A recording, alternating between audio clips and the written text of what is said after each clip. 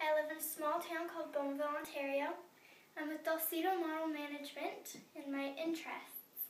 Um, my interests are playing on the beach, swimming, yoga. I really love yoga.